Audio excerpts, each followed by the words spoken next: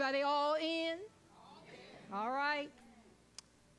You know, when I attempted to prepare what I was going to say when I have this opportunity to be up here, my mind went blank.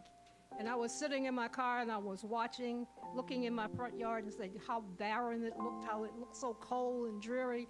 And then I turned my head and I saw some little yellow dandelions coming up. And I say uh, that's my analogy for what looks like is hard and difficult and desolate might not always be because that little yellow flower gave me another ray of hope and so we, what something is packaged in is not what we should be paying attention to. We should be paying attention to the heart and the head. So can everybody join me in just standing on your feet and giving God some praise? Because he is worthy of all praise and all honor and all glory. It's nobody like him. It's nothing that he can't do. So in every situation, let him give him praise and honor. He is due that. Thank you so much. Thank you so much, Lord, for everything that you do for us. You woke us up and we're all here, and may we return to our homes in safety. We thank you for everything, Lord God. Yes, yes. Thank you, Lord. Yes, you are worthy. None other like you, Lord.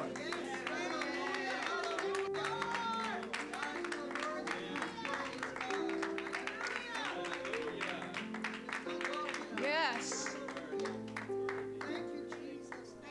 We're going to have prayer this morning by Sister Tiffany, and we're going to have the scripture by Sister Maddie. And we're going to have our praise and worship team come and, you know, fill us up so we can go back out there and give it to the world, right? All right.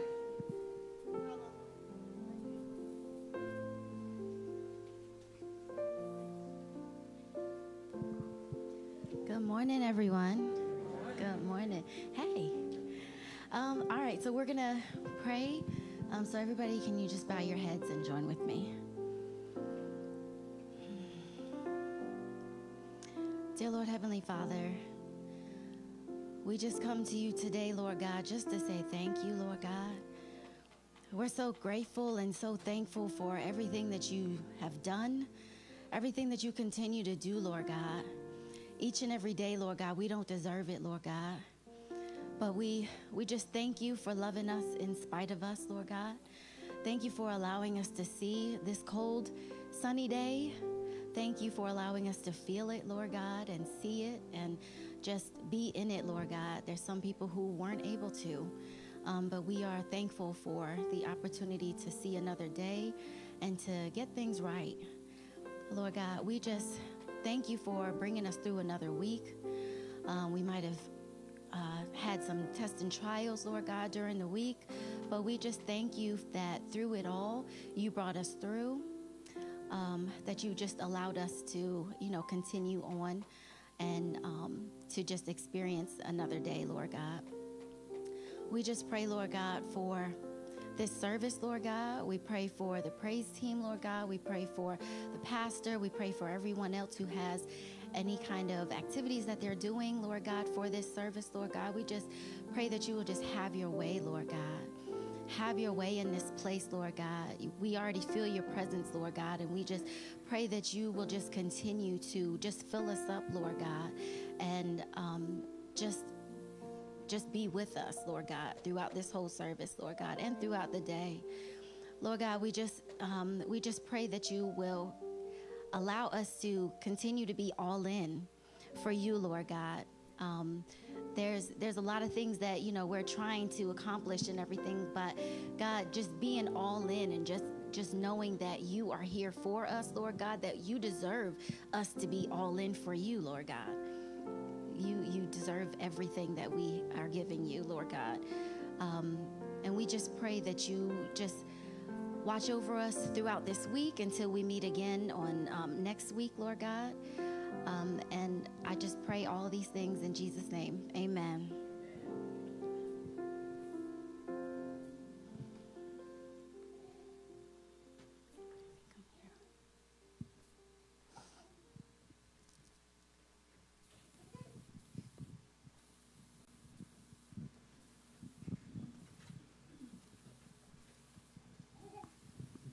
Good morning, church. Happy Black History Month. All right. So, you know, and I didn't plan to speak about Black history, but it's just on my heart uh, because we've come a long way, y'all. God has kept and blessed just African American people in this nation uh, because there was a time where we just, Lord, I can't even imagine what it was like to be owned by somebody. That, that's, a, that's, a, that's a situation.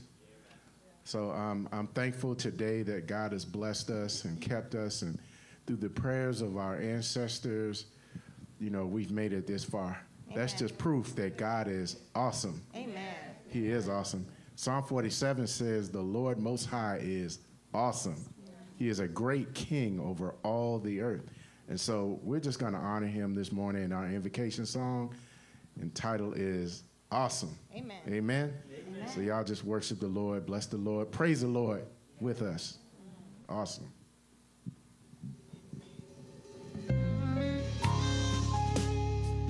Father, this is our worship. This is our prayer. We're just going to acknowledge you. That my God is awesome. My God is awesome.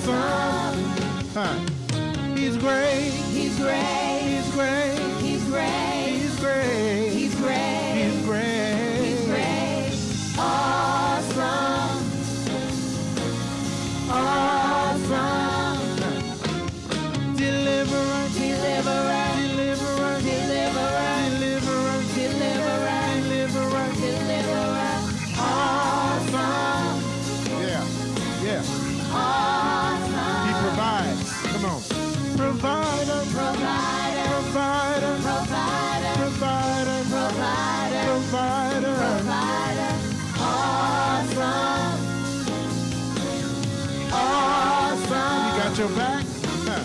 Protector, protector, protector, protector, protector, protector, protector, protector, awesome.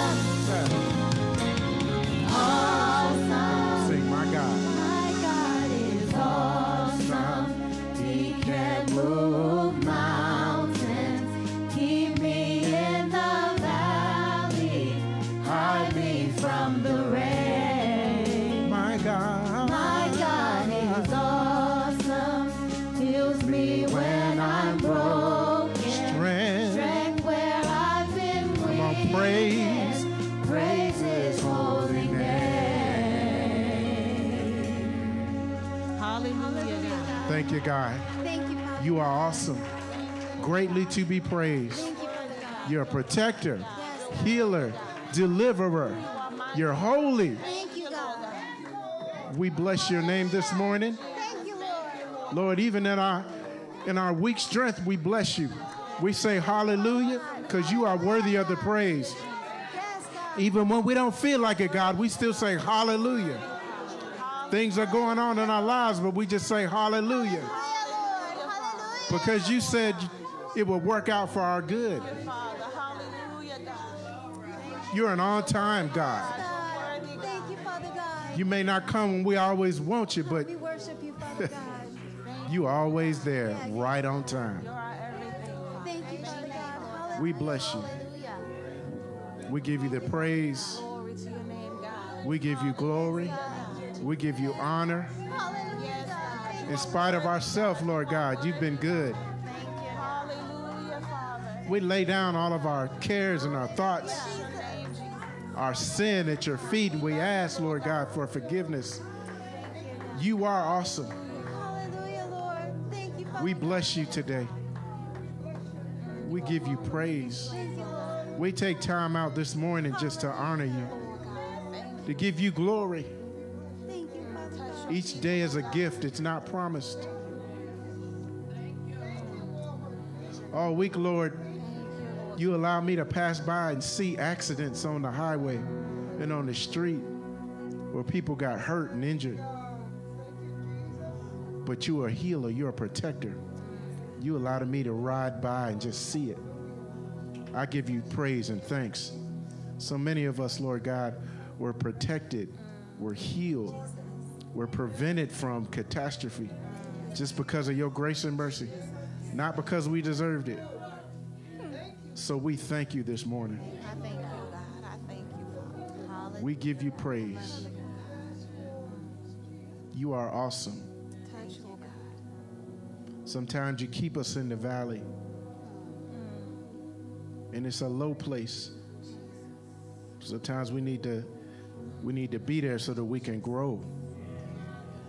So we can appreciate the times where you raise us up in those high times of life. So we thank you even in the valley. Yes, God. Thank you, Lord.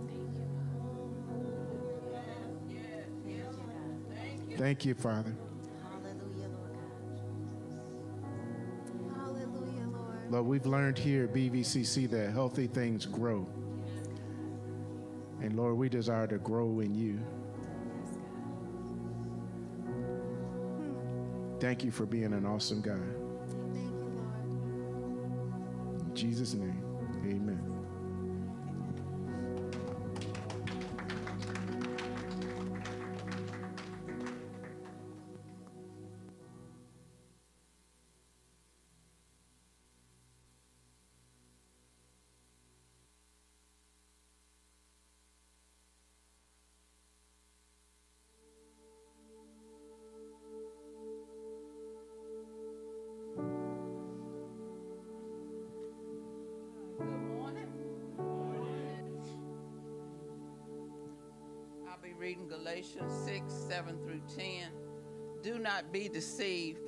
God is not mocked. For whatever one sows, that will he also reap. For the one who sows to his own flesh will from the flesh reap corruption.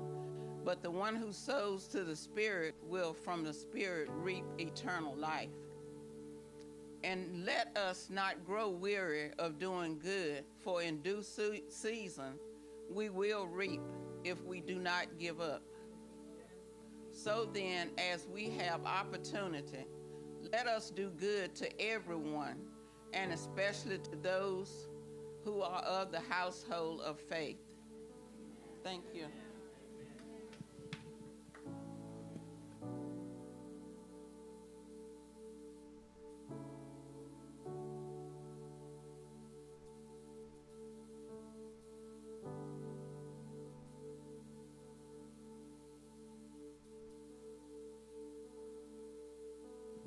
Can you hear me now? Okay. I got lost. Announcements? We have announcements? Oh, it's up there for me. Okay. Okay. All over the place, okay. Oh, um, welcome, first-time guest. If we have any first-time guests, um, we're not gonna ask for a DNA sample or anything like that. Thank you, thank you. And what, what, we ask that at the end of the service that you give it to our pastor here, and he will have a gift to share with you for coming to join us today. Thank you. Okay. And this is the part where I think we got one minute extended. We got five minutes. Get up and hug and love on each other and say hi, how you doing? Say hi to somebody you don't know. Okay? Okay? Come on now.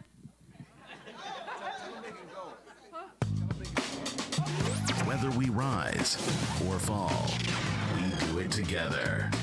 We are BVCC.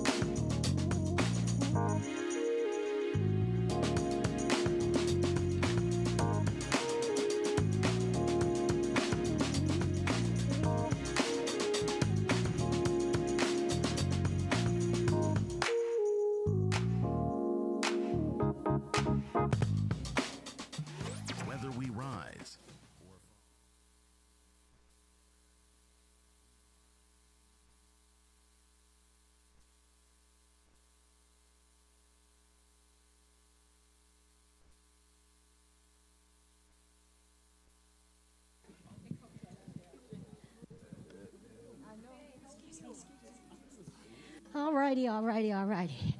That was fun. How's everybody today now? How you feeling? All right. Come on, y'all. All right. Just have a few announcements. We'd like to wish happy birthday to Stephanie Winder, Mariah Williams. Woo! Happy birthday. So, join us after church today. It's first Sunday. Um, we have a meal plan. Um, actually, it's a competition. We need everyone's help to vote.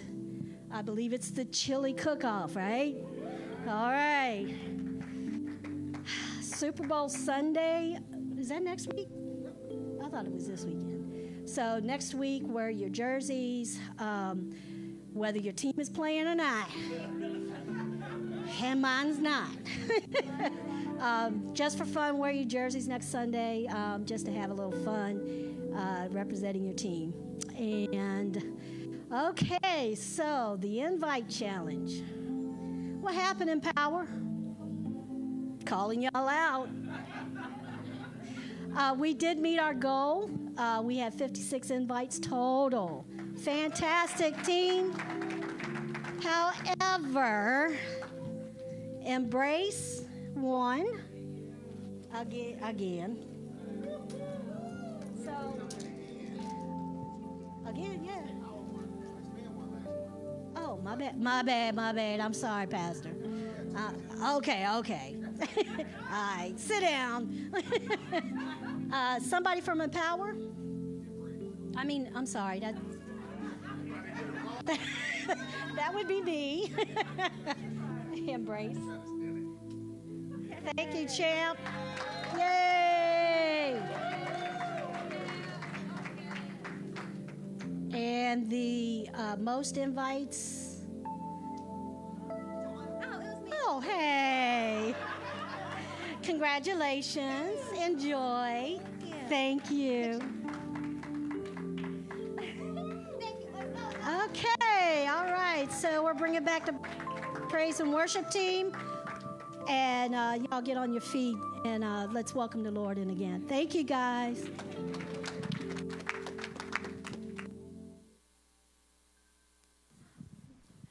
So this next song we're going to sing is called "Pour Your Oil." Um, and if anybody knows, the oil represents the power and presence of God. And I don't know about y'all, but I need God to pour His oil on me. It's been a rough week. It's been uh, trying, but God is still good, right? So, you know, just as we are singing this song, just re- just really get in your mind, like God, I need Your presence just to fall on me because I can't do it in my own strength.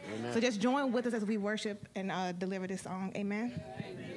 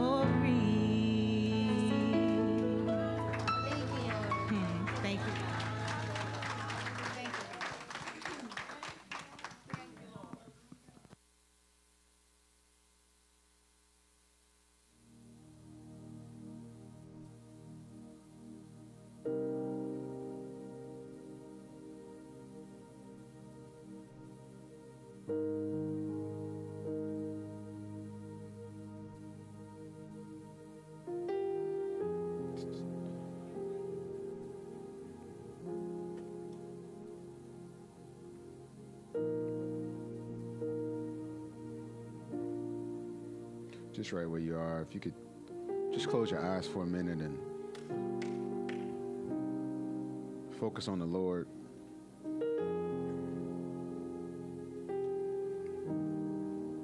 I know there's things going on in your life, and your mind may be in a million places. You may be dealing with the stress of the week, the weight of bills, some decision might be dealing with people. Maybe you're dealing with the condemnation of your past mistakes. No matter where we find ourselves today, we are in the right place. See, there's no better place to be than in the presence of God. And just for a minute, right where you are with your eyes still closed, just raise up one hand and tell the Lord, thank you.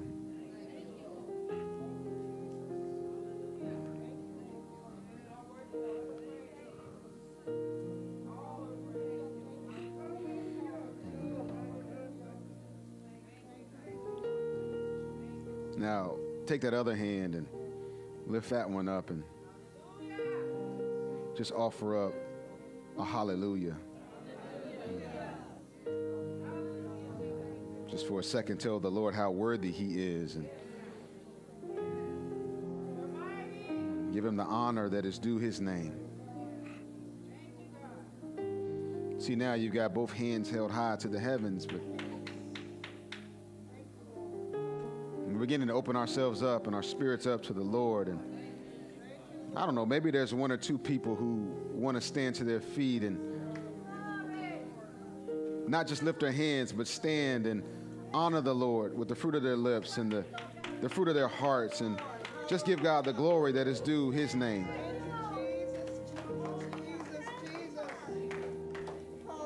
Mm. God, you are a worthy God. And we worship you this morning. We bless you right now. We thank you for your presence in this place. You are our, our Abba. You are our provider. You are our banner. You are our healer. You are our righteousness. God, you are our peace. Hmm. We thank you that you look beyond our faults and saw our needs. Our need was bigger than food. Our need was bigger than clothing. It was bigger than shelter. Our need was for a Savior. Our need was for your spirit to dwell on the inside of us. God, you said you inhabit the very praises of your people. So inhabit our praise right now. Fill our hearts right now. We bless your name. You are faithful. You are worthy. You are so good.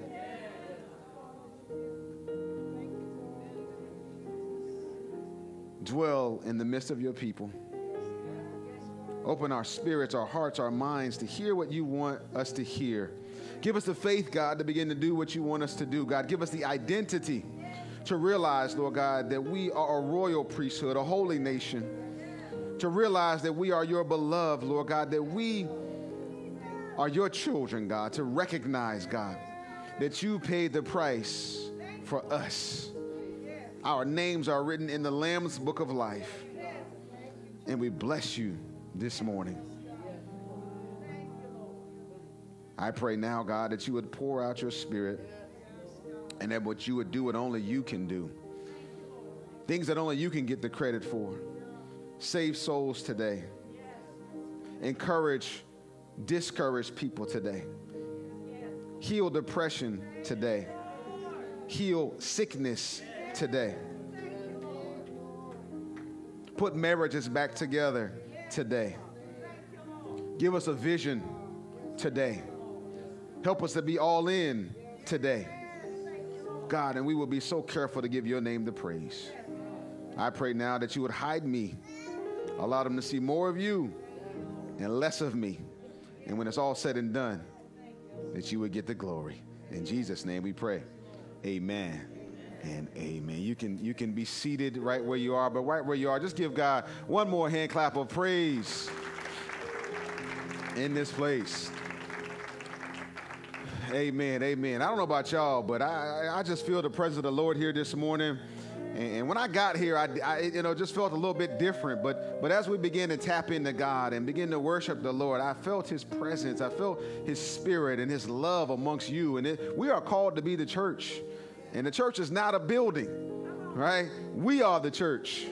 And I'm grateful to be a part of the church and to be walking alongside each and every one of you along this journey. But we're going to get ready to get into the word. I'm going to do my level best to preach this morning. Uh, we are in the midst of our current series entitled Upgrade. Upgrade. Anybody feel like your faith has been upgraded so far this year? Your walk with God has been upgraded this year? If it has not, if it has not, you might have missed a couple Sundays. So it's okay to go back. We got the notes. We online. You can go check it all out. Uh, but we are talking about upgrading. And last Sunday uh, was exciting because we talked about our vision of being all in, right? We've been talking about what it really means to be all in as a church, all in as a disciples. But today, I actually want to circle back to a topic from a few weeks ago. Uh, and that topic, we were talking about uh, dwelling in the Spirit, living in the Spirit. And sometimes the Lord just won't let you go from a place. And he said, You ain't done yet. So we're going to talk about the Spirit some more this morning. Is that okay? Did we talk about the Spirit this morning? I know the kids are with us this morning, so y'all fill out your uh, fill in sheets. I believe we got a door prize for you for everybody who does, all the kids. Adults, we're to give you some chili, okay? But the kids, the kids, y'all, y'all get a y'all get a, get a prize today. Uh, but but all of our first time guests, we do give a handout sheet. Make sure you're following along, filling those in. Uh, if you don't know the answers, it's okay to cheat off your neighbor. Right? This is one place where we will not fail you or flunk you for cheating off of your neighbor's paper. All right, so let's jump in. So my title for this morning is "You Grow Where You Sow." Right? You grow where you sow. Now, the question for us today do I got any people who know the difference between an asset and a liability? Any financial people? Okay, uh, so, uh, okay, about a good- number of people. Uh, so, you got assets and you got liabilities. And we got tax season coming up. Some of us are excited about getting a refund. Uh, that's a whole other conversation, a whole other teaching.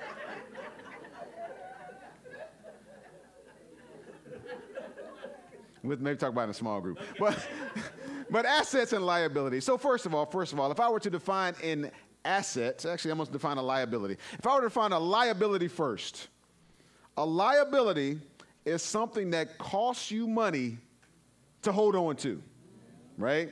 It costs you money to hold on to it.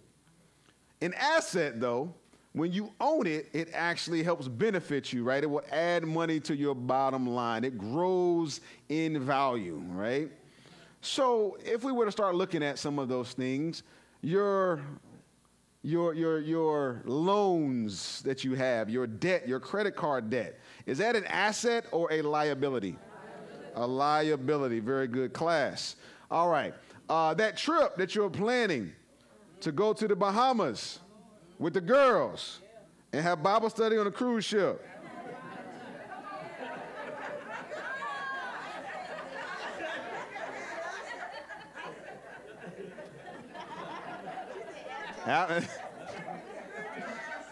Okay. Now, first of all, y'all ain't going on the, on the Royal Caribbean. Let's keep it a buck. Ain't nobody going to Royal Caribbean having Bible study. And, and that, y'all gonna be in that conga line, ain't you? All right, I, we, we, I, let me get refocused. Okay, so your vehicle, your car, your car, your car, asset or liability? You know that the moment you drive it off the lot, it goes up in value, doesn't it? It goes down in value. Now, I'm not going to knock anybody, right, that likes to have a nice car, right? My goal with every car that I have is to have that bad boy paid off, right? But, but here, here, here, we, we talk about assets and liabilities, right? So your home, if you buy a house, right, and it goes up year over year, is that an asset or a liability? It is an asset. Very good class. Pastor, what does that got to do with today's message? First of all, we're talking about the spirit and we're talking about the flesh, okay? So every one of us, we talked about, has three parts. Y'all remember that? What are those parts? Our body, our spirit, and our soul, right? Three parts. We're going to dig into that here in a second. I want you to understand something this morning. First of all, our flesh, our flesh is a liability, right? It is a liability. The moment we were born, the moment we drove it off the lot, it started decreasing in value. And the older I get, the more my flesh feels like a liability, right? It ain't getting a whole lot better, a whole lot stronger. Stuff is hurting. Uh, stuff is don't don't move the same way, right? Our flesh is a liability, but our flesh also lets us down. It doesn't assist us in our journey through this life. But the spirit, the spirit, the spirit that is inside of every believer is an asset, right? And, for us, as, as, as we sit here today and before we leave, we've got to make a decision of which one we're going to invest our time into, right? In, in, in, in, natural life, you can take your money and you can buy liabilities, or you can take your money and you can buy assets. In the spiritual, we can take our time and we can invest it into the liability of our flesh, or we can take our time and invest it into the, in the asset of our spirit. Y'all see the difference? That's our focal point today. So let me give you the bottom line. The bottom line is this. The bottom line is this.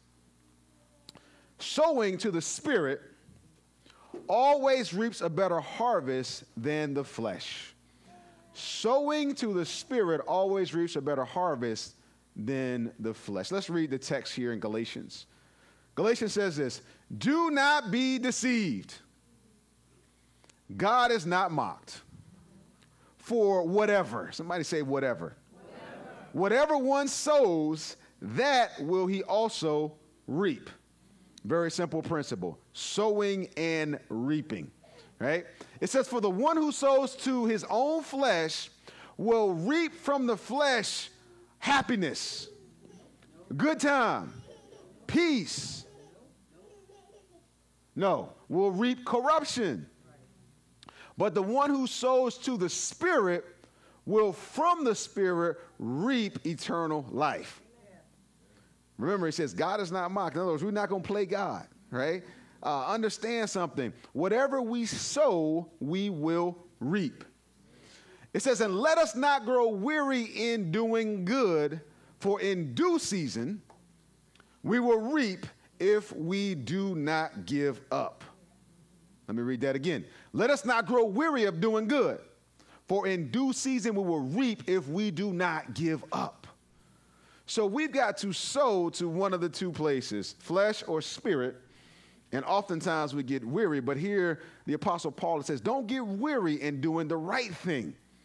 Don't get weary in coming to church. Don't get weary in reading your scripture. Don't get re- weary in praying. Don't get weary because in due season you will reap if you don't give up. It says, So then, as we have opportunity, let us do good to everyone, and especially to those who are of the household of faith. All right, let's unpack this. I want you to understand something. Today's title, today's sermon is all about you grow where you sow. You grow where you sow. And here we got the Peanuts gang, right? They are sowing. And we see that they are reaping, right? Uh, my, my man Marcus and Marilyn have a phenomenal garden, right, at their house. And they sow, and then ultimately they reap. How many y'all have benefited from the fruit of the Leaper Garden, right? You got collard greens, yams, potatoes, tomatoes, all that stuff, right? You name it, they got it, right? Uh, but, but here, Paul is telling us God is not mocked. He says, Whatsoever somebody sows, that they will also reap. And the thing is, when we sow to the flesh, we will from the flesh reap corruption. But when we sow to the Spirit, we will from the Spirit reap eternal life. So, for all of us, everything you do, every minute of your day, you are sowing somewhere. Now, I want you to understand something. We talked about three parts of the body, and I'm going to break this down for you here in a second. Don't worry about this diagram, it may be confusing, right? But on this diagram, it talks about the body. This is the flesh we live in. It talks about the soul, right, which is our mind, our emotions, right? And then it talks about the spirit. So you are three parts. Every one of us is three parts. Let me break this down for a second. First of all, we're going to talk about the body or the flesh. So the body has what we call gates, right? And there are gates by which every one of us interacts with the world, right? And, and, for us, it's very natural, right? We got our eye gate, we got our ear gate, right? We got touch, taste, and smell. And the thing about it is, through these gates, that is how things enter in to your mind and into your spirit by the way that you interact with the world. So you have gates, right? And, and understand something the things you listen to uh, they are deposited into your spirit. The things that you watch, they are deposited into your spirit. The, the, per, the, people that you spend time around, the relationships you enter into, all of these are gates that we allow things to enter into our spirit. Am I making sense so far? So every time something comes into a gate, it is like sowing, right? And, we must understand something that, that we've got to be selective in what we sow. We got to be selective. And, and, and, and, y'all ever heard of what you are, what you eat? Y'all heard that statement before? And, and, and the thing is, we don't often realize what we are sowing because we're not really paying attention to it. But he says, God is not mocked. Whatsoever a man sows, he will also reap. So that's the first part. So your, your, your, flesh has these gates. But in your mind, your mind or your soul, right, that's where your imagination is. That's where your conscience is, your memory, right? Your reason, your affections are all in your soul, right? All in your mind. But then we have the spirit. Then we have the spirit. And that's what I want to focus on. Because here in the spirit, the spiritual gates, the spiritual gates that we must focus on are faith, right? Our prayer lives, the time we spend in scripture, right? Reading, memorizing, meditating, and the time we spend in worship. See, we were just a few minutes ago lifting our hands, right? Just a few minutes ago offering God praise. Those were feeding our spirit through, uh, through God's methods, right? Uh, but, but so many of us are going to decide when we leave here today, unintentionally, not realizing that we are feeding our flesh and starving our spirit.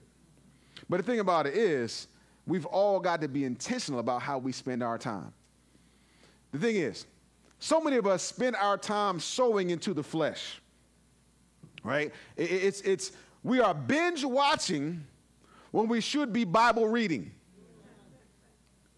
We are spreading gossip when we should be spreading the gospel. We're partying and being petty when we are called to be priests in God's kingdom. Now, unfortunately, we, we, have, we have dismissed being Christ like for following the ways of culture. And we dismiss Bible teaching because the world says that's not the way it is anymore. But understand something God is not mocked.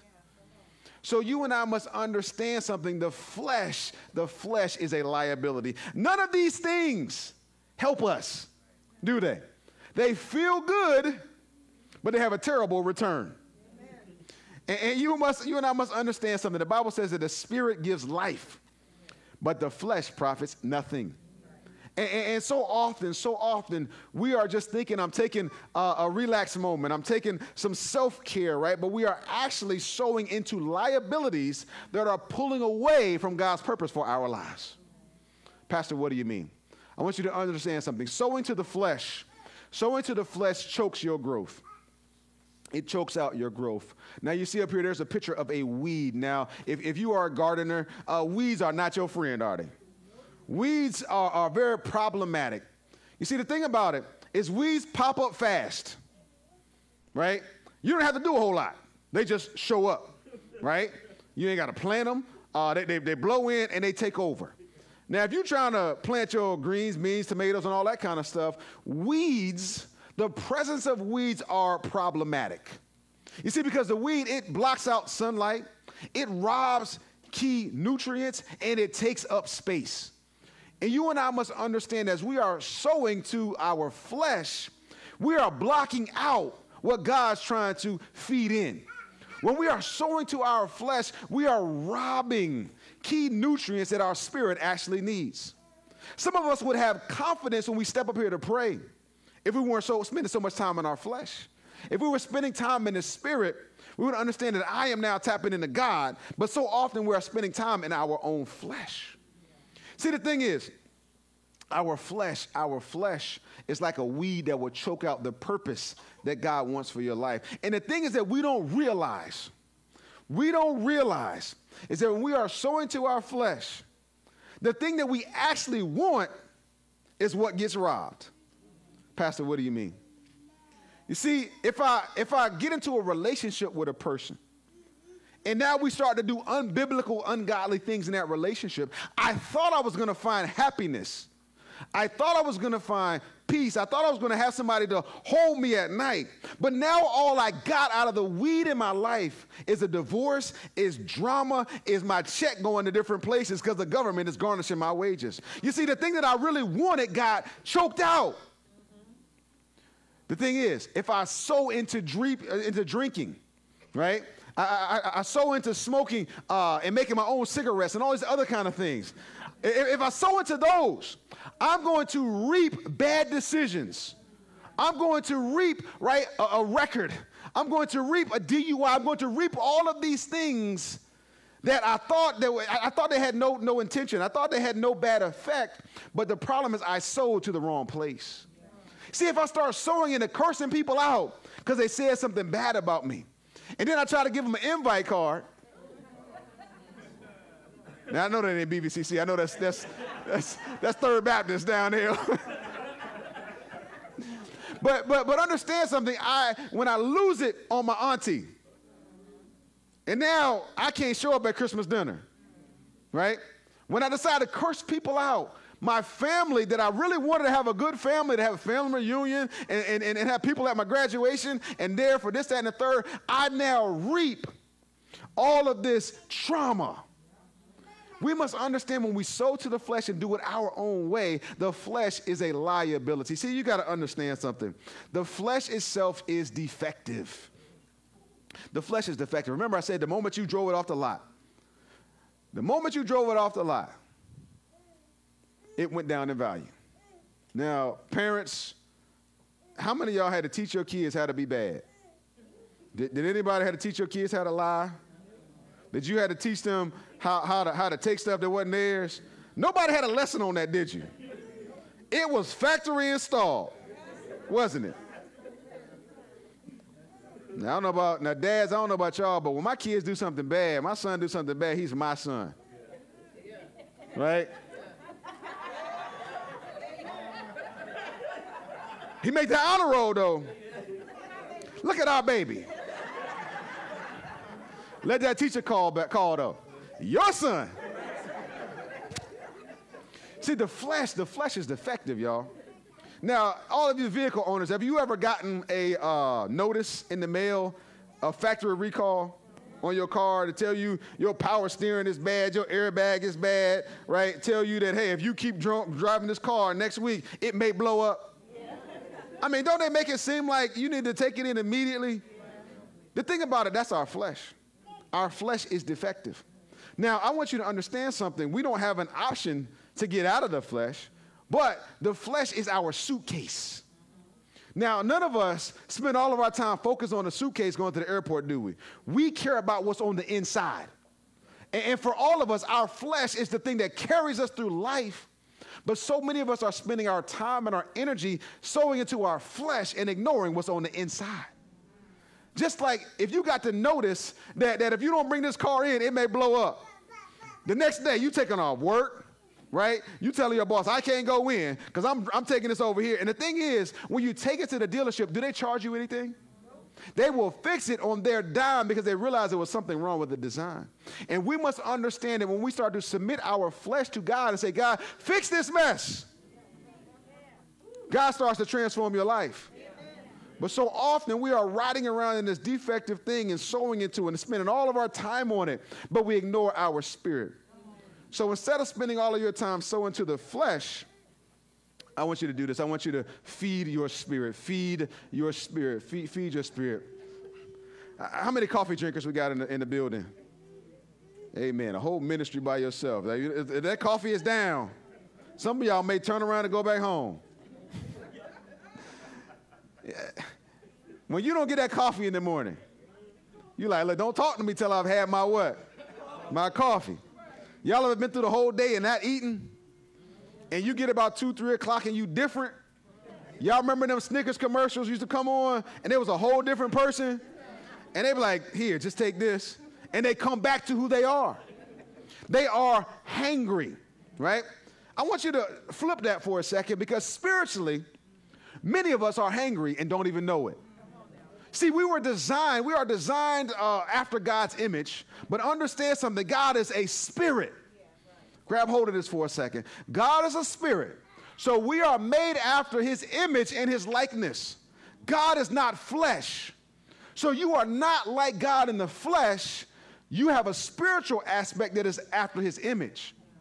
So we've got to get to the place where we stop spending so much time focused on the flesh and we start to feed the spirit because that is what connects to God.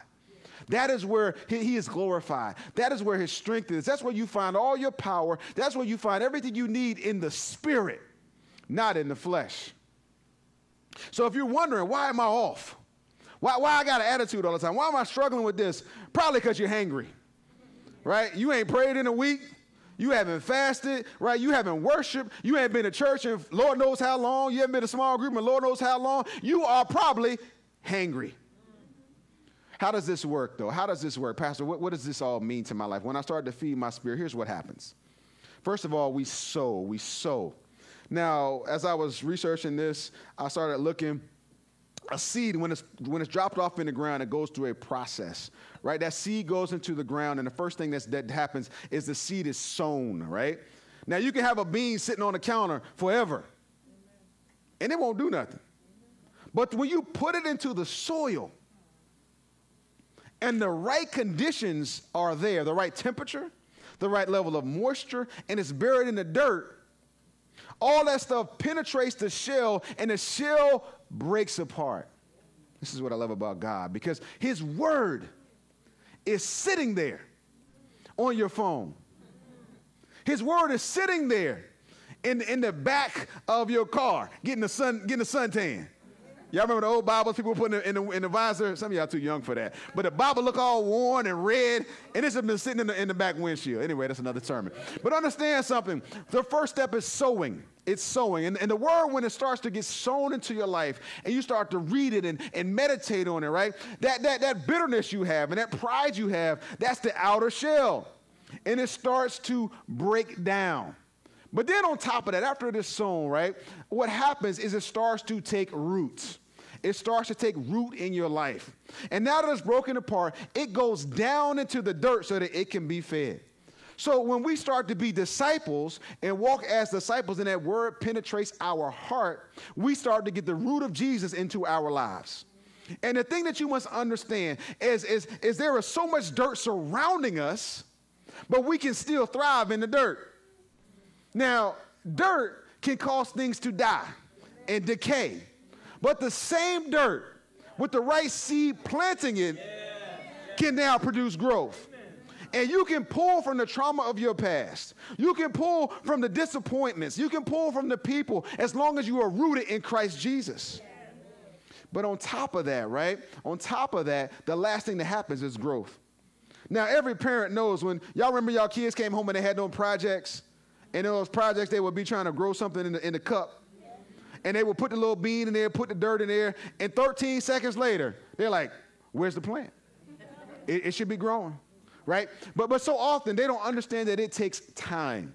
And the thing about it is growth. Growth happens when you emerge, when the, when the seed emerges from the dirt and it starts to reach for the sun. And some of y'all can get this on the way home. And, and understand something. When, when you got dirt around you and you finally, the word of Jesus has taken root in your life, and finally, you get some worship in you. And you start to reach through the dirt and make your hands up to the sun. The rays from the sun will penetrate everything else going on and feed the plant. See, to understand something, your worship is powerful. And here's the thing I've learned that just because I see dirt, I've got to realize that I've still planted a seed. And just because I don't see it emerge, there's still a lot going on. And, I've got to, I'm not going to give up on the plant because I understand the power of seasons. And you and I must get to the place where we realize that we are disciples, that we are called of God, we are called by God, and when His word is planted in our lives, it's going to do a thing. And God said that the good work that He began, He will bring it forward till completion. But we, our job is to sow and to not give up. See, here's the thing I've learned. I've learned this. I've learned is that God will match your effort. God will match your effort. Now, now I don't want to show hands, but some of y'all got good jobs, and, and some of them good jobs got 401ks. And, and the 401k, the thing that's nice about the 401k is that when you put your part in, what does the company do?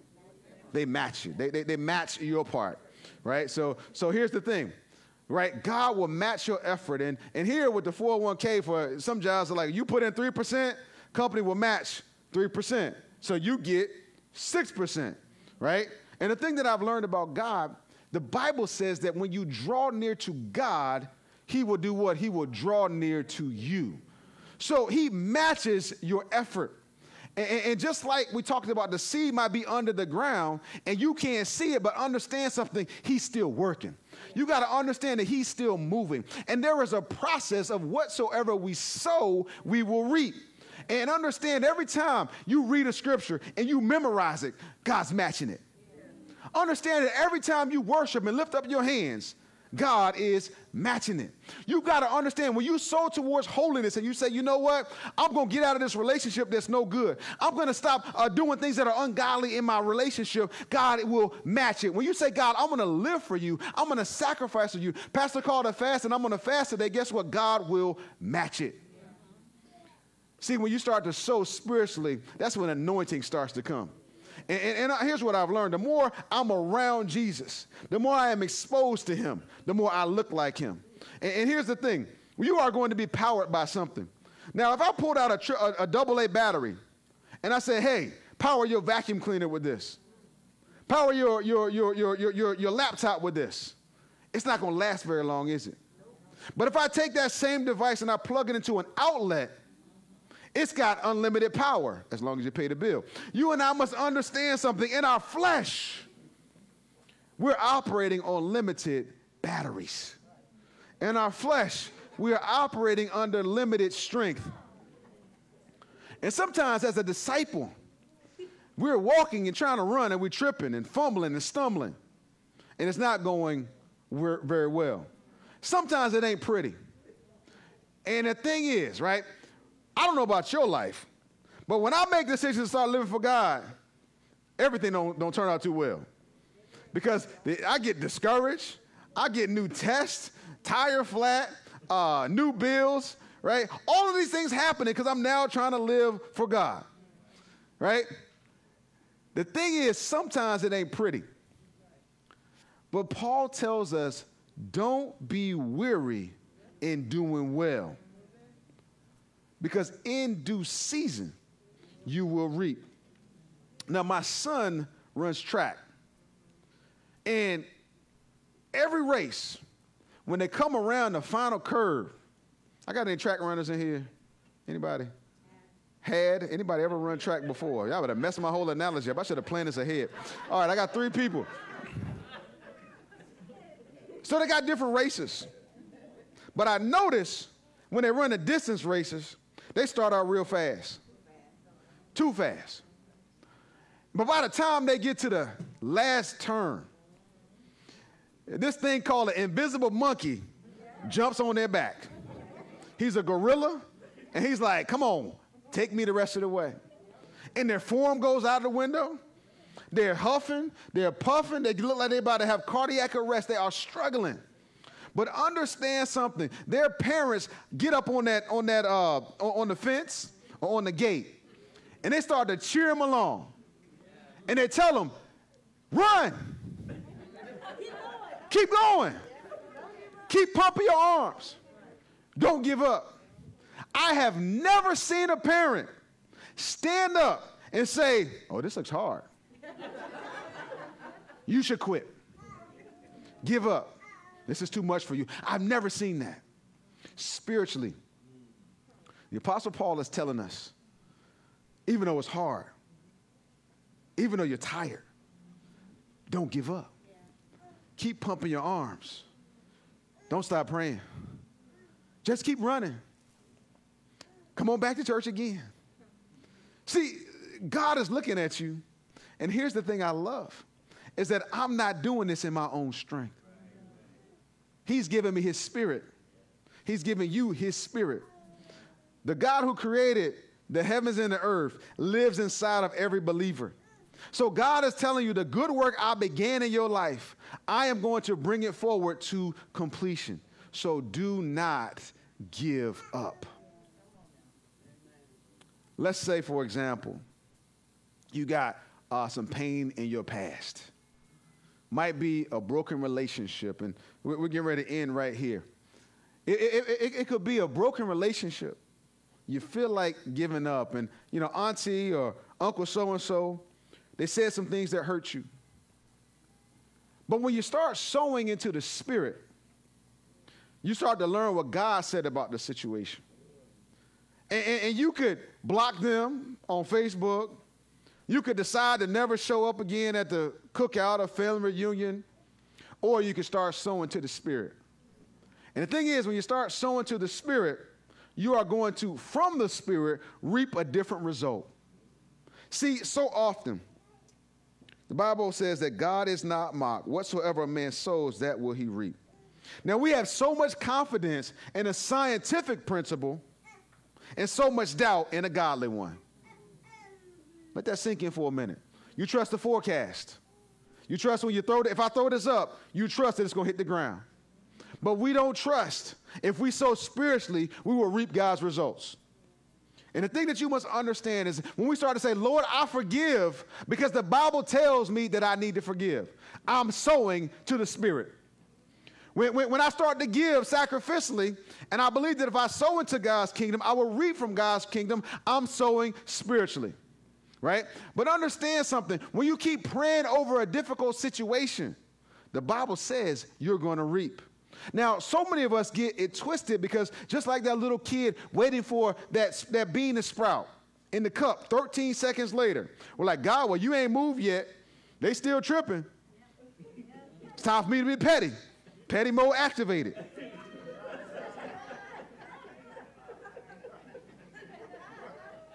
I'm speaking to somebody. I, yeah, I'm speaking to somebody right there. you start to fast over the situation. God, I'm, I'm going to attack this spiritually. Why? Because the Bible says the weapons of our warfare are not carnal, they're not fleshly, but they are mighty through God for the pulling down of strongholds. You and I must understand something. We are spiritual beings. We, we, we just have a suitcase called the flesh. And when you get to the point in the place, right, where you say, you know what, I'm sowing to the spirit. I'm going to spend my time sowing in the spirit because God's going to match my energy. And, and, all my job is is to keep sowing and don't give up. Ain't that good? I mean, you think about that for a second. I got my part, God's got his part, but we have left God out because we're sowing to the flesh. But here, I want to challenge you today. Just like Paul says, he says, Let us not grow weary in doing well. For in due season, somebody say, due season. Due season, we will reap if we do not give up. Your job is to sow and not to give up. God's job is to provide the result. You and I, you and I must understand here today, you will grow where you sow. You will grow where you sow. And maybe today you've been looking at your life, and we're going to stop right here. You're saying, Pastor, my life, I, I don't have a whole lot of spiritual fruit in my life. I got drama and I got trauma. I've got pain, but I don't know my purpose. People have let me down, and I have let God down. As the music begins to play softly, I want you to just take a moment and think about where you are. Take a minute and ask yourself, how have I spent my time? Where have I been sowing? Have I been sowing to my flesh? Or have I been sowing to my spirit? I want you to understand that you're going to grow where you sow. Your flesh is a liability, and maybe today you need to repent for putting so much effort and energy into the flesh. See, there's a factory recall, and God is saying this flesh is corrupt. He says, die to it daily. Crucify the flesh, deny the flesh. He tells us over and over because he realizes that flesh profits nothing. And it's not your fault. Because when Adam sinned, the flesh was corrupted, and that corruption passed on to you and me. But God, in His infinite wisdom, sent His Son Jesus in the flesh to overcome sin, to die in our place, and to give us a right to eternal life. Maybe you don't even know Jesus, but today you want to know Him. I want you to do me a favor. I want you to make your way down to this altar because I want to pray with you that Jesus would, would come into your heart and be the Lord of your life and wash you clean and begin to move in ways that only He could move and only He could get the credit for. If that's you, just begin to make your way down. As that person is coming down, I want to open up this altar for those who are looking at their lives and saying, you know what, Pastor? I've been sowing to my flesh for so long, and I think I'm hangry. I need a spiritual move in my life. The Bible lets us know that we need to redeem the time because the days are evil. And today you want to begin sowing to your spirit more consistently. You want to be intentional today, but you don't quite know how and you don't think you've got the strength. And you're saying, Pastor, could you just pray for me? I want you to make your way down to the altar too as you begin to say, I'm sowing in my spirit, I'm walking in my spirit, I'm giving God the first place in my life so that I could be walking in accordance to what He wants for my life. If that's you, just make your way down to this altar. We're going to pray for you this morning. As we still seek God's face, maybe there's somebody out there who's saying, I've got an issue in my life, Pastor, and I just need some encouragement. I feel weary. I feel weak. I don't know how I'm going to make it. And I heard what you said about don't grow weary and doing well. But if I were being honest with you, I'm so weary that I don't know how I can take another step. I'm so weary, I don't know how it was all I could do just to get here today. Would you pray for me? If that's you, I want you to make your way down to the altar too, because I want to pray for you this morning. The Bible says that the weapons of our warfare are not carnal, but they are mighty through God. And we're going to go and we're going to engage in warfare this morning and believe God by His Spirit to set some people free, to believe God by His Spirit to give some people some hope, to, to believe God by His Spirit take us to the level where He wants us to be as followers of Jesus. If that's you, as we begin to pray this morning, just make your way. There is room, there is room, there is room as we pray at the altar, just have that moment with, with God alone and begin to pray, repent, and ask God to fill you with His Spirit, to give you power and authority over that flesh. In Jesus' name.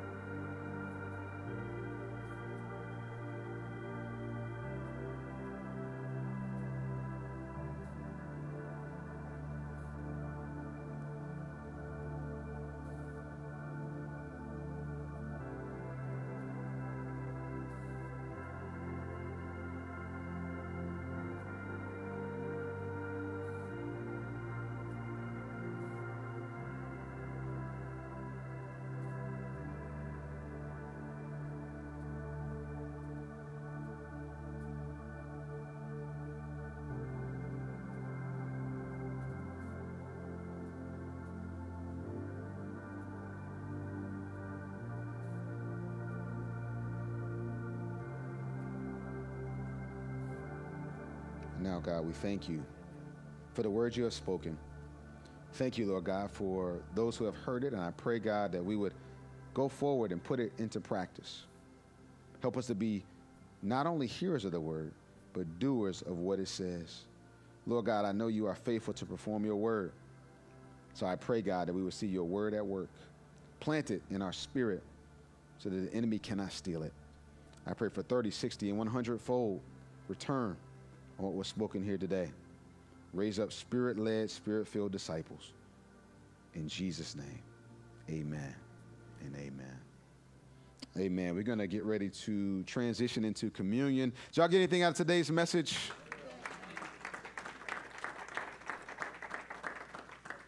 Amen. I'm going to turn it over to Bro Ade, who will lead us in communion this morning.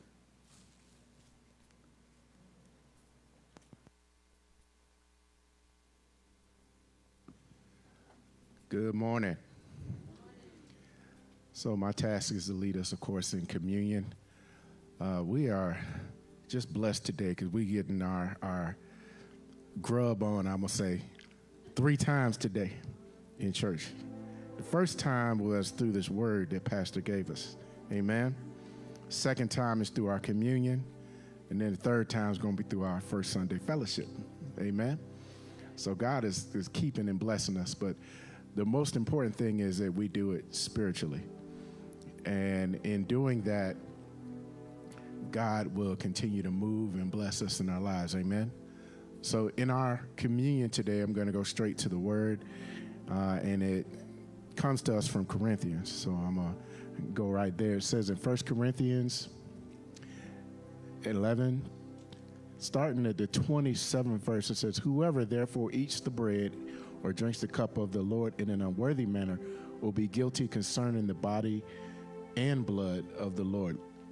Let a person examine himself then, and so eat of the bread and drink of the cup. For anyone who eats and drinks without discerning the body eats and drinks judgment on himself. So the scripture isn't about condemnation, it's about remembering that we got to examine ourselves whenever we participate in communion. It's about checking ourselves and saying, God, am I, am I where I want to be? Am I where you want me to be? And let me get back right where I need to be. Amen. And so we dedicate this time in our communion to doing that. And that's what it's about. So let's take a moment to examine ourselves and pray.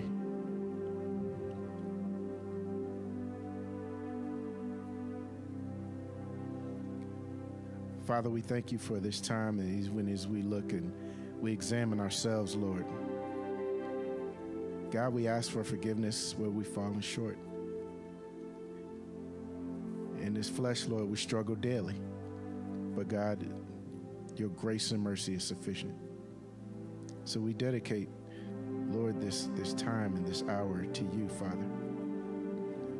Allow us, Lord God, to, in this communion, to rebalance and reset the things that we're sowing into.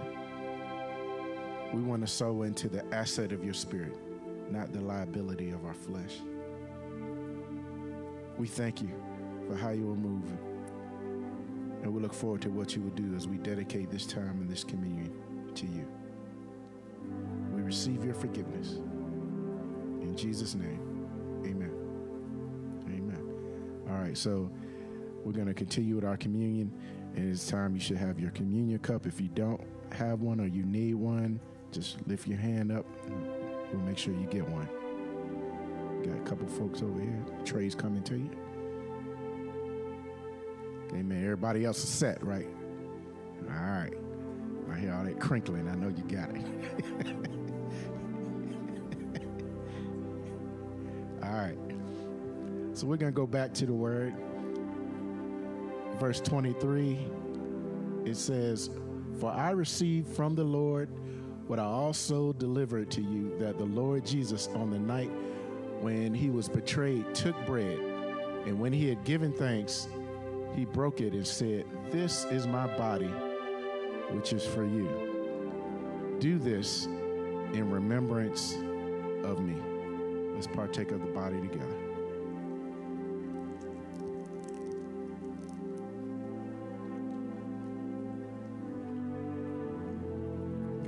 Say amen. All right, we there.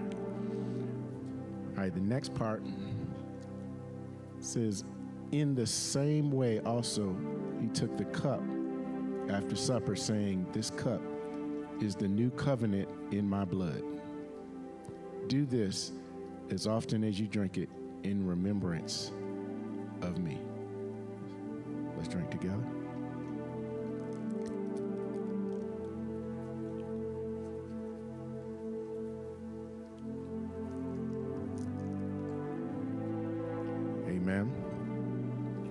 So as we partook of communion, we shared in the body, the broken body, because Jesus was battered and bruised for our iniquities. And then the blood that was poured out that washes us from snow. Clean as clean and white as snow. Amen. And so that's what the Lord did for us. And the least we could do is to dedicate our hearts and minds, our flesh, everything to Him. Dedicate our lives to Him. When He does that, He gives us His gift of the Holy Spirit. He gives us all that we need and a purpose driven life.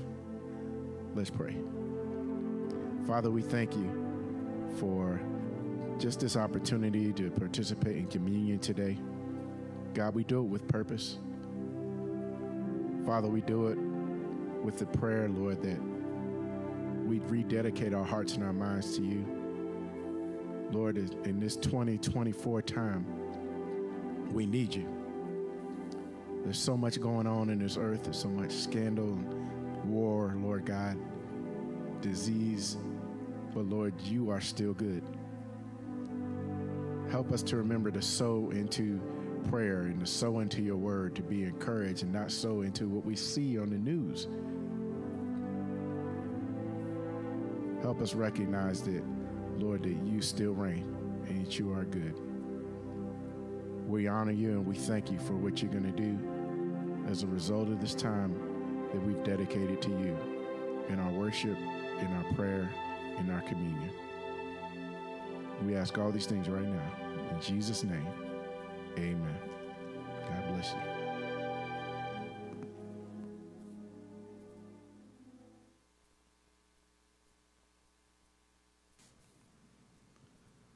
Amen. Amen. We're going to uh, get ready to transition out of today's service.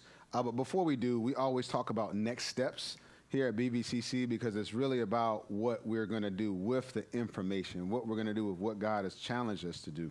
Right? What do y'all, what I love to say? Information plus application equals.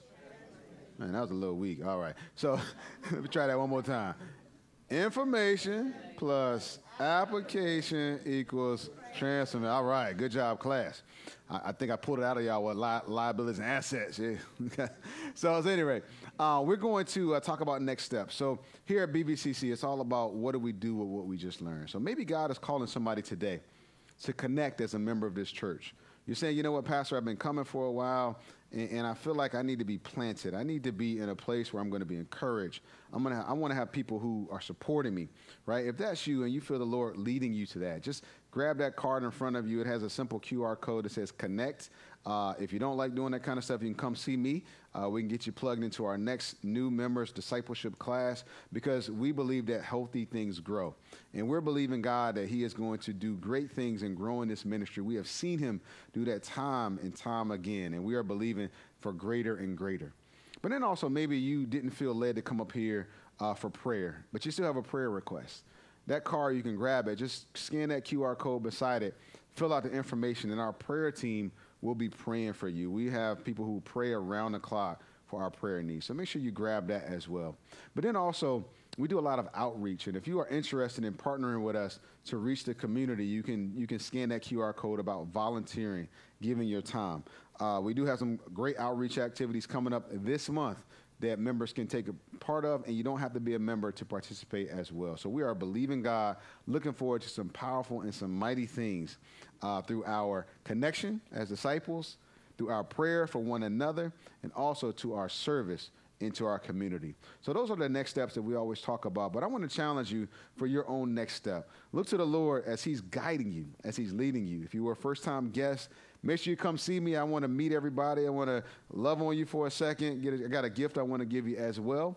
Uh, but the last thing that we want to do today is worship God in our giving. Amen. Because giving is an act of worship. And the Bible lets us know that God loves what kind of giver? A cheerful giver. And this is not the kind of church that we tell you what to give, we just tell you how. Right? That how means give cheerfully and give sacrificially. Right? And, and God is faithful to do what he, what he said he would do. When we give, we are also sowing, right? And God's not mocked. Whatsoever a man sows, that he will also reap. I've learned in my life if I need to grow money, I gotta sow money, right? Uh, and God takes that and meets all the needs of the church, but He also, in turn, remember, God matches. Man, this sermon just tying right in, ain't it? God matches uh, everything that we do. So I'm not going to talk talk a hole in your head, but I want you to uh, give the Lord your best gift. Give Him your first and your best, not your worst and your last. Your worst and your last. If you're texting your amount, the information is up on the screen. Also, you can use that QR code to give uh, that way. And if you are old school and like the envelopes, you can go and give your amount by Mike in the back. Mike, raise your hand. There's an envelope box right there. Uh, we will be having our chili cook-off apparently today. Uh, so I don't know who's going to win, but I'm looking forward to see who gets to do that. But make sure you participate in that as well. But uh, thank you for your giving, uh, and we're going to get ready to have the benediction. Y'all ready to go? Y'all are ready to go. I got one no and 17 yeses. but no, we're going, we're going to uh, have a benediction, say the blessing as well. Uh, today has been an awesome service. I hope that you were blessed. Um, I want to encourage you also go to small group. If you haven't been there in a while, sow spiritually and go to small group because life is happening in small group. And those who show up, they grow up, right?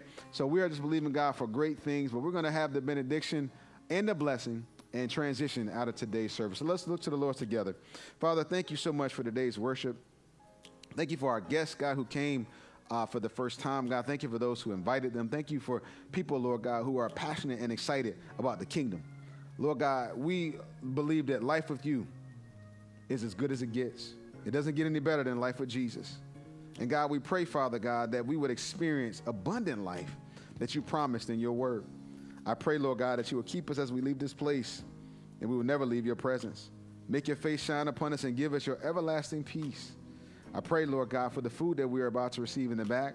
May it serve to nourish and strengthen our bodies. May, may we make memories, fellowship together, and, and love one another as the body of Christ. Lord, thank you for our guests who came for the first time. Thank you for those who are returning. Thank you for those who made decisions today. Thank you for the growth process of discipleship. God, I pray, Father God, that you would, Lord God, make your face shine upon us and give us your everlasting peace. Father, this is our prayer. In Jesus' name we pray. Amen, amen, and amen. God bless you. That concludes today's service. You are dismissed. Make sure you love on somebody on your way out. And first time guests, please see me.